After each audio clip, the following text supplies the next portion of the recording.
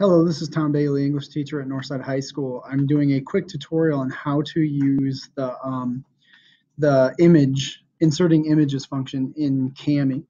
Um, if you click over here in Kami, and it's a little difficult to see, I'm going to reduce the size just for a second, and then uh, expand this back out. If you click on the image icon in the left-hand side of your toolbar, there are three options for inserting images. One, you can insert from your computer.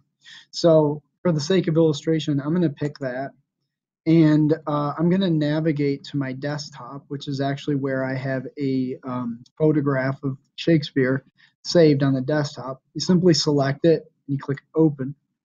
And then it comes in and it asks you where do you want to drop it. So if I click to drop it, it goes like right here. And then you can resize it according to what you want it to, to do. It usually keeps its aspect ratio as you're doing that. But that is one way that you can insert a, a photograph. If you want to move it around, you just click and then you can move it to wherever you want it to go. Um, if you want to get rid of it, you can simply do this. If you want to crop it and you want to just take like the edge off, you can crop it that way. And you'll see that it has been edited and you can undo the same function by hitting undo. Or sorry, that's the rotate. I thought it was going to be the undo function.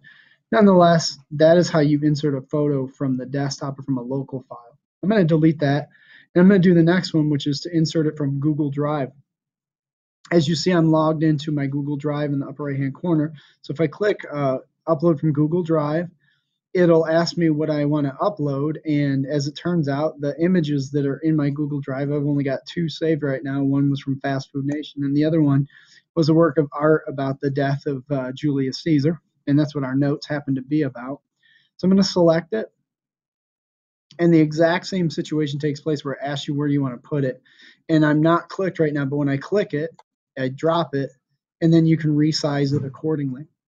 So that is how you do it from Google Drive. One last thing that you can do then is you can actually do a Google search for uh, somebody that you might want to use the photograph for. And it's really cool uh, aspect eh, that you can do in historical or or works of literature or whatever where you want to get pictures of characters. So if I click, um, you search from uh, Google Drive, I'm going to click right there. This comes up, and actually, I'm just going to look up Julius Caesar. And what did Julius Caesar look like according to Google Images?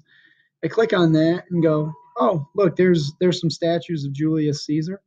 I'm just going to pick this one, and I'm going to hit select and I do the exact same function that you did before. So in addition to like if you've already searched for your photos ahead of time that you wanted to use, or if you wanted to just do a Google search for the character that you wanted to insert there, you can simply do that those three ways.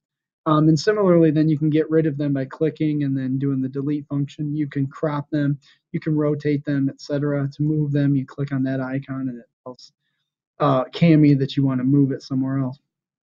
But that's the basic uh, directions on how to insert images. One, you can upload from your local computer. The second one, you can go from your Google Drive. And the third one is you can do a Google search. Thank you.